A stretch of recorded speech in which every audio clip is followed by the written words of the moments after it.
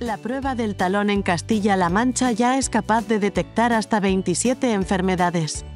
Continuamos trabajando por la prevención de los más pequeños de nuestra región. Hemos triplicado el número de pruebas desde 2015.